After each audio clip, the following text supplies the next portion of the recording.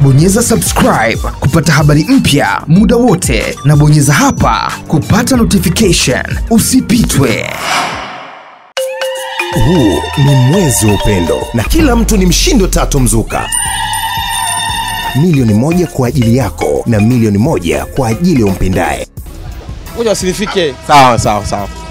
Unaweza kupoteza na nini? Haya bana, tunatakia kazi njema. Mheshimiwa RC heshima yako. Marhaba. Hongera pia, umekuwa miongoni mwa watu ambao wanaileta maendeleo sana katika nchi yetu. Um, niambie leo unajisikiaje kwamba hiki pia kimefanyika na kilikuwa ni miongoni mwa ahadi ambazo mliweka kama sera ya CCM? Nimesema pale mwanzo, anayetoa ahadi akianza kuitenda angetamani aliyemwahidi aone. Kwa hiyo unajua wa wapenda nao, kwa serikali ya Magufuli na show love kwa wananchi wake, na wananchi wamerespondi kwa kuamua kutembelea mradi kama huu, kwa sababu kuahidi ni jambo moja, kulitekeleza ni jambo jingine, lakini kupokelewa kile unachokitekeleza kwa mikono miwili ni jambo jingine. Hii ni ishara ya kwamba ni kweli Watanzania hasa wakazi wa jiji la Dar es Salaam wanafurahishwa na kasi ya rais wangu na bidii aliyonayo kuleta maendeleo, na namna ya kuonyesha furaha zao ni kuanza kutembelea miradi ambayo yeye anaifanya. Hii ni tua yetu ya kwanza, wananchi wa mkoa wa Dar es Salaam, lakini tutakuwa na tua nyingi, ikiwemo pamoja na kwenda kutembelea Stigra Gorge, sehemu ambako umeme unaenda kuzalishwa zaidi ya megawati 2100 na kupelekea gharama za maisha ya wananchi wa mkoa wa Dar es Salaam na Watanzania kwa ujumla kushuka.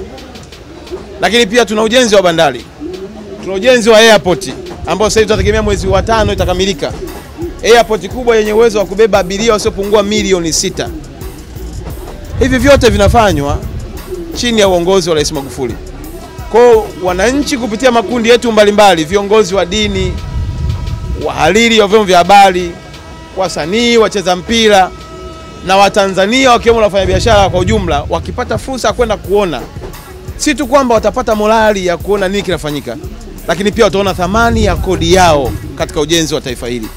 Haya tunayoyaona ni matokeo ya ulipaji wa kodi, na baada ya muda mfupi tutafurahia zaidi kutoka hapa kwenda Dodoma zaidi ya masaa matatu, Mwanza masaa yasiyopungua saba. Maana yake nini?